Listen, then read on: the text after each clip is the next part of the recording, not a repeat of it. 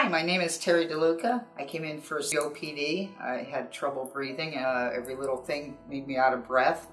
Just walking, mowing the lawn, etc. I'd be out of breath.